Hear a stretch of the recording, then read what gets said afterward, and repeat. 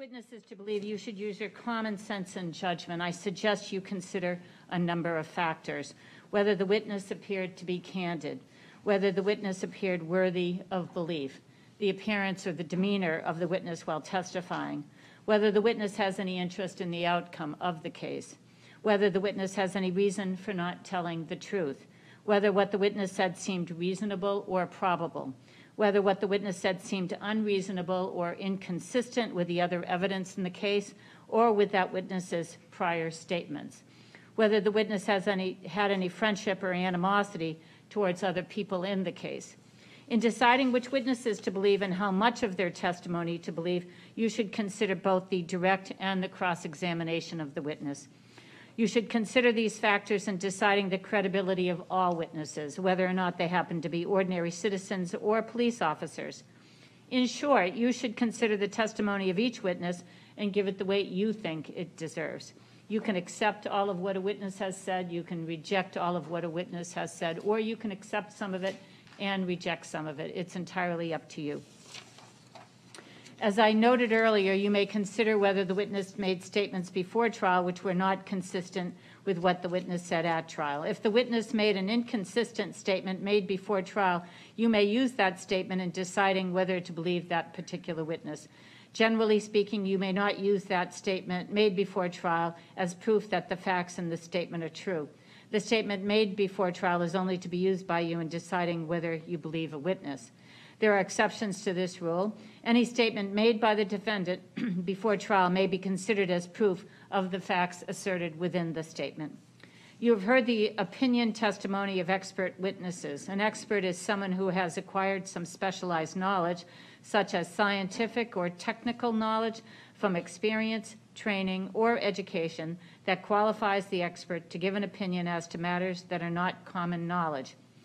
The opinion of the expert may assist you in understanding the evidence or in deciding a fact and issue. You're not bound by the opinion of the expert. You're free to ignore the expert's opinion if you find that the reasons given in support of the opinion are not sound or if you find that other evidence outweighs the opinion. I'm now going to discuss the definition of the crimes with which the defendant is charged. A crime is any breaking of the law for which the law provides punishment. All crimes have at least two parts, an intent and an act. In deciding whether a person is guilty of a crime, it is absolutely necessary for you to know both what, a, what the person's actions were and what his intentions were. The word intent refers to what a person mentally believes his physical acts will accomplish, and the word act refers to a physical deed. The state has the burden of proving, beyond a reasonable doubt, the specified level of intent and a separate act for each of the crimes charged.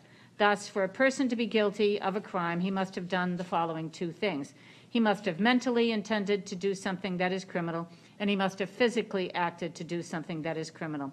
Unless a person both intended and acted to do something criminal, that person has not committed a crime. Whether the defendant acted with the required intent is a question of fact for you to decide.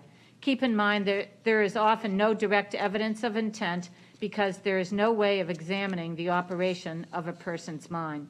You should consider all the facts and circumstances and evidence in deciding whether or not the state has proven the defendant acted with the required intent. Remember that the reason crimes are given different names is that each refers to either a different intent or a different act, or a different intent and a different act. So for example, assume that there's two drivers of an automobile and each driver hits a person who's crossing the street. If one of the drivers purposely intended to hit the pedestrian and the other one did so out of negligence, each driver would be guilty of a different crime. As you know, in this case, Mr. Argie is charged with committing multiple crimes on or about April 4, 2019 in Londonderry, New Hampshire. each crime can be defined in numerous ways. The definition for each, as applicable in this case, is set forth below. The state must prove, beyond a reasonable doubt, each element of the alleged crime. Now I have, pardon me, now I have the crimes listed with the letter A, B, and C. And when you're asked to return your verdict, you will be asked in the same format as what's in my jury instructions. So the first crime that I'm going to define is falsification of physical evidence. And so when you come out and render your verdict, your, the first verdict you'll be asked to render is on that crime. Falsification of physical evidence. Number one, the defendant, believing an official investigation was about to be instituted into the death of Maureen Argie. Number two, the defendant destroyed, concealed, and/or removed from 118 West Road, Londonderry, New Hampshire, Maureen Argie's cell phone. And number three, the defendant acted with a purpose to impair the cell phone's availability in such investigation. The next offense, which is B, first-degree murder. And by the way, ladies and gentlemen, there are, there's um, a number associated with each offense as listed in the jury instructions. Pay no regard to that number. It's, it's simply the, a charge ID that's been provided by clerk staff at some point when the charge was pending. So pay, pay no attention to that. It's not relevant to your deliberation. So first-degree murder. Number one, the defendant acted purposely, and number two, the defendant caused the death of another, Maureen Argie, by strangling and/or smothering her. If you decide that the defendant is guilty of the offense of first-degree murder as just defined for you, do not consider the lesser included crime of second-degree murder as defined below. However, if you find that the defendant is not guilty of the crime of first-degree murder as defined above, then you must go on to consider and decide whether the state has proven beyond a reasonable doubt that he's guilty of a similar but less serious offense of second-degree murder, the elements of which are set forth below. A similar but less serious offense is different from a more serious crime in one of two ways. In this case, it requires a less serious mental state and/or a less serious act. And so, C, second-degree murder.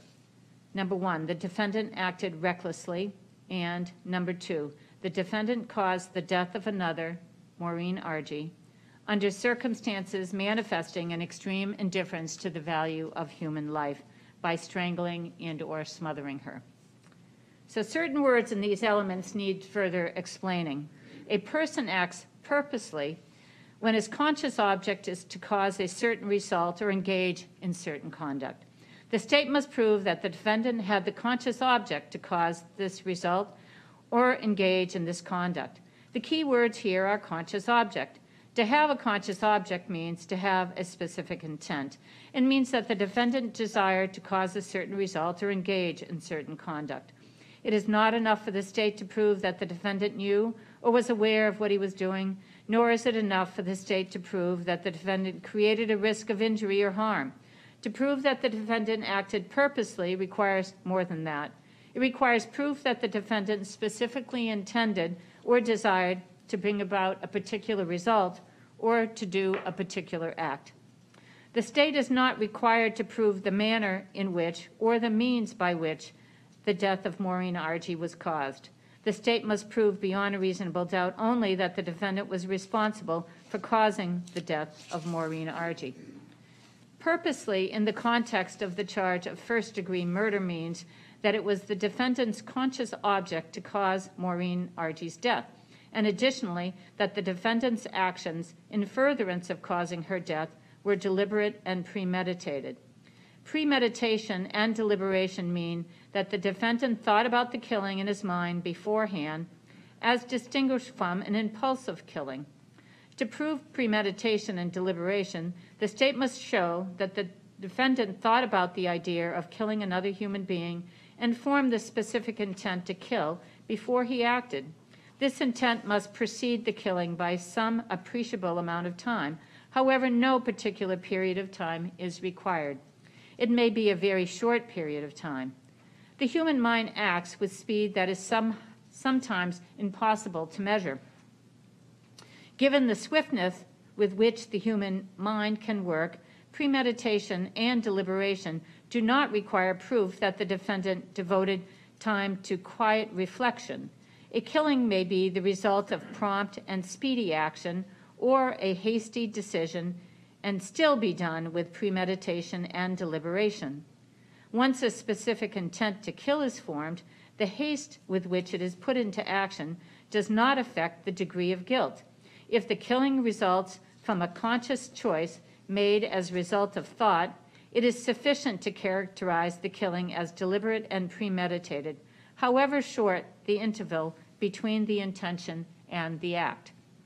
The basic question you should ask yourself in deciding whether the defendant acted with premeditation and deliberation is this.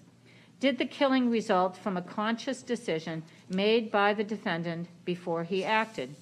Usually, there is no direct proof of a person's state of mind at the time he acted, so you must examine all of the facts and circumstances of the case to decide this question. You may consider the defendant's actions and conduct before the death, whether he planned or talked about the killing in advance, whether he had a motive to kill the particular individual, and whether he made any threats or statements showing that he intended the killing. You may, you may examine the defendant's actions and conduct during the homicide, whether a deadly weapon was used, whether the manner of the killing was particularly brutal, whether multiple wounds were inflicted, whether wounds were inflicted on vital organs, whether the homicide was at a place where the defendant's acts would not be detect, sorry, would not be detected, or a time when others would not be present. Finally, you may examine the defendant's behavior after the homicide, whether he fled from the scene of the killing, whether he attempted to conceal his acts, whether he made any statements after the killing. You should consider all of these factors and all of the other evidence presented during the trial in deciding the question of premeditation and deliberation. A person acts recklessly when he is aware of and consciously disregards a substantial and unjustifiable risk that his conduct will, would cause a certain result. The risk must be of such a nature and degree that, considering the circumstances known to him, its disregard constitutes a gro- gross deviation from the conduct that a law abiding person would observe in the situation. There are several components of a reckless mental state that the state must prove. They are number one, the defendant was aware of a substantial and unjustifiable risk that his conduct would cause a particular result, and number two, that the defendant consciously disregarded the risk. In other words, he elected to disregard the risk and take the chance that his conduct would cause a particular result. It is not enough for the state to prove that the defendant failed to become aware of the risk involved. The state must prove that the defendant was aware of the risk and consciously disregarded the risk.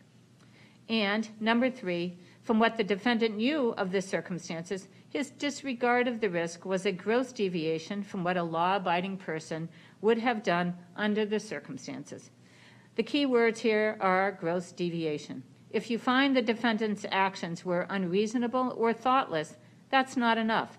To find that the defendant acted recklessly, you must find that his disregard of the risk was a substantial departure from what a law abiding person would have done under the same circumstances.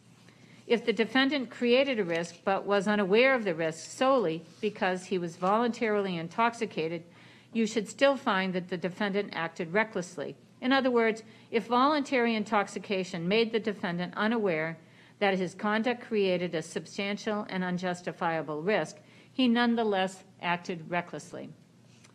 For a killing to be second degree murder, the defendant must not simply act recklessly but rather must act recklessly under circumstances showing an extreme indifference to the value of human life. This means that, I'm sorry, this means something more than merely being aware of and consciously disregarding a substantial and unjustifiable risk of death. The risk involved and the disregard must be so blatant as to manifest extreme indifference to the value of human life. You may presume the reckless, recklessness and extreme indifference required for the crime of second degree murder under, the, under this definition if you find the defendant used a deadly weapon while committing second degree murder. Members of the jury, all of the principles of law that I have given to you are intended to guide you in reaching a fair result in this case, which is important to both parties and to the court. You're to exercise your judgment and your common sense as I said before, without passion, without prejudice, and without sympathy. but with honesty, understanding, and due deliberation. When you have considered and weighed all of the evidence, you must make one of the following findings with respect to the charges that are before you. If you have a reasonable doubt as to whether the state has proven any one or more of the elements of the offense charged, you must find the defendant not guilty. However, if you find that the state has proven all of the elements of the offense charged beyond a reasonable doubt, then you should find the defendant guilty. Let me remind you that a reasonable doubt is just what the words would ordinarily imply. The use of the word reasonable means simply that the doubt must be reasonable rather than unreasonable. It must be a doubt based upon reason. It is not a frivolous or fanciful doubt, nor is it one that can be easily explained away. Rather, it is such a doubt based upon reason as remains after consideration of all the evidence that the state has offered against it. As I said before, your verdict has to be unanimous. All 12 must agree on the verdict. You must consider, consider each charge separately and determine for each whether the state has proven the defendant guilty beyond a reasonable doubt. As I've already explained to you earlier, you would not necessarily reach a verdict on all three charges. If you reach a verdict of guilty on first degree murder, then you do not go on to deliberate on second degree murder. Please let the bailiff know when you've arrived at your verdict on the charges that are before you. You will then be returned to the courtroom where the foreperson will announce your verdict orally in response to a question that the clerk of court or I will ask of you. The foreperson should see to it that the jury takes up the issues that are before you and that each has a full, fair, and adequate opportunity to present his or her views, positions, and arguments with respect to the law and to the evidence. The foreperson must ensure that deliberations continue only while all 12 jurors are present. The foreperson must also monitor the jury's compliance with the judicial branch mask mandate. If the foreperson determines that a juror refuses to comply, the foreperson must immediately bring that matter to my attention.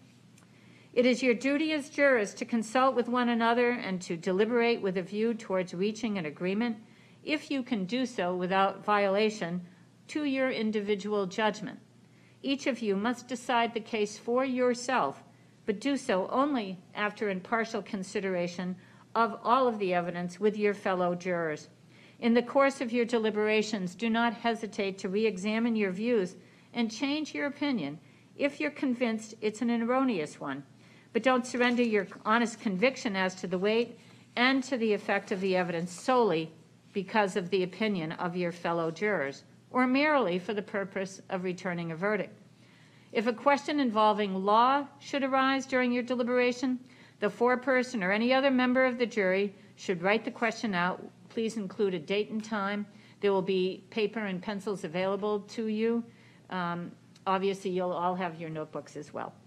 Please notify the bailiff that you have a question and then hand the note to the bailiff who will bring it to me for review with counsel.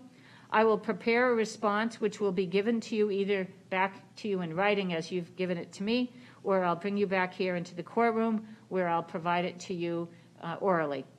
If, however, your question involves one of fact, then I won't be able to help you because, as I've explained, you and you alone are the judges of the facts, and you must rely on your collective memory to resolve a factual dispute. I'm going to take this moment to remind you, because this is probably the most frequently asked fact question I get. You, we have no availability of providing you a transcript of the testimony that you've already heard. You have to resolve on, uh, rely on your collective memory to resolve any factual dispute as to the testimony you've heard.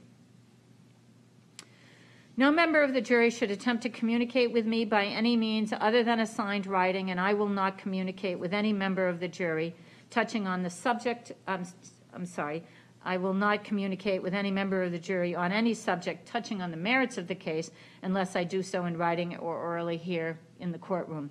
Bear in mind also, you're never to reveal to any person, including to me, how you stand numerically or otherwise until you've reached and announced your verdict. If I could see counsel?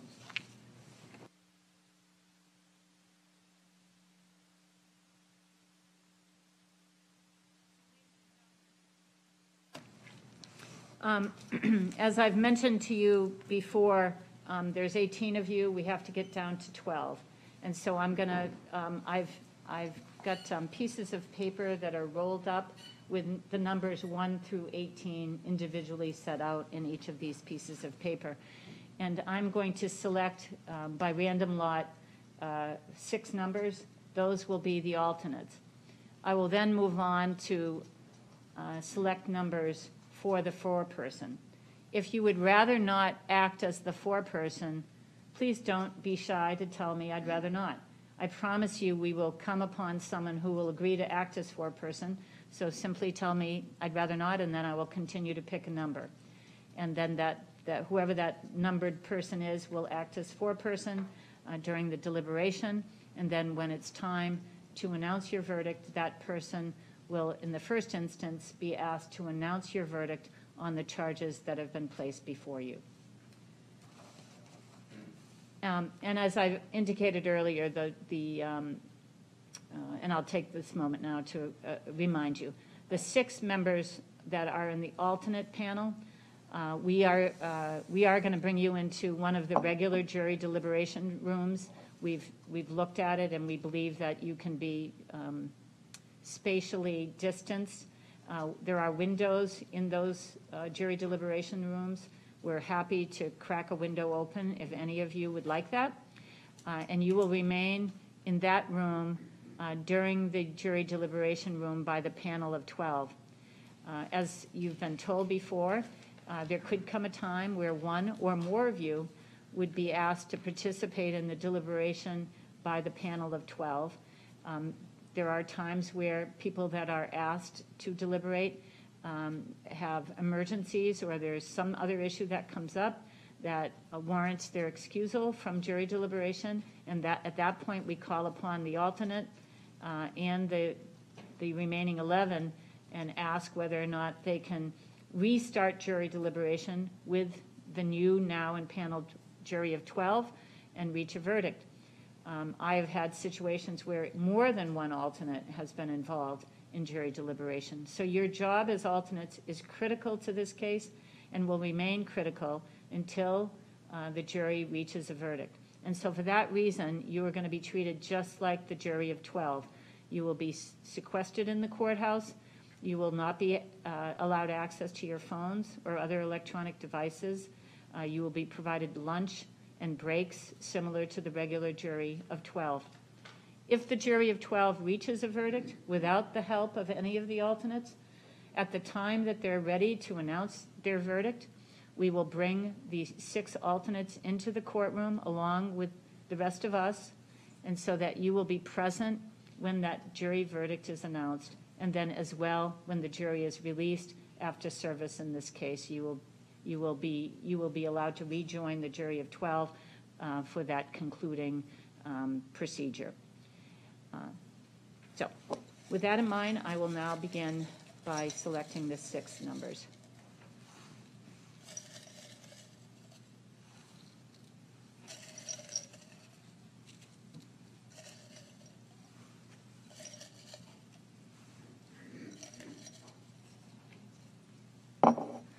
So these are the six alternates. Juror 17.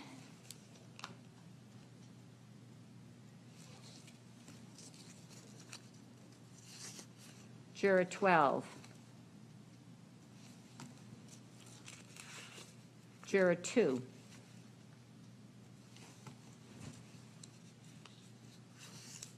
Juror 18.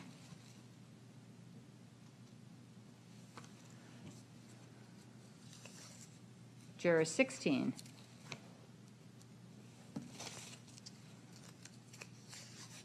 Juror 10. And now I will begin um, selecting the foreperson. Again, if you would rather not, just let us know. Juror 15.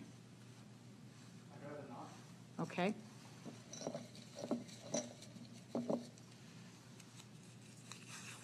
Juror number four.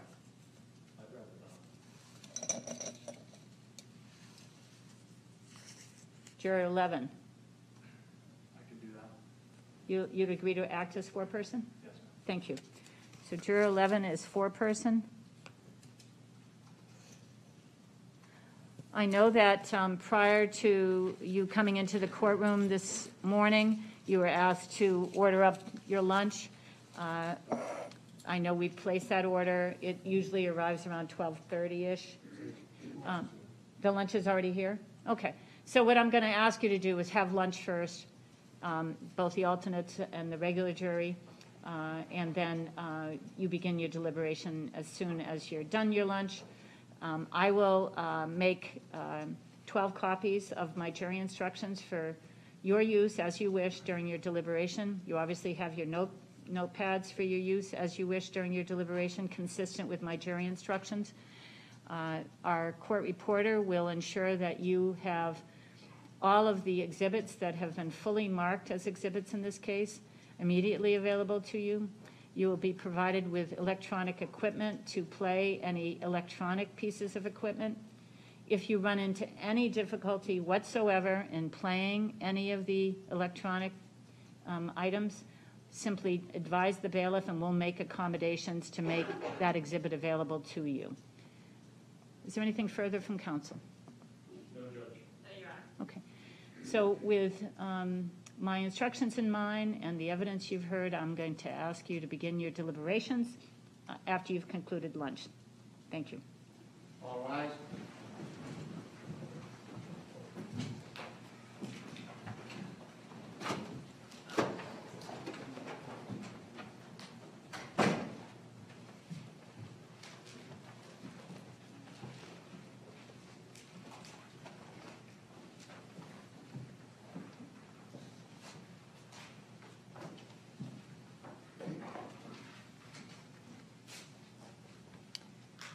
And if I could see counsel just for a second?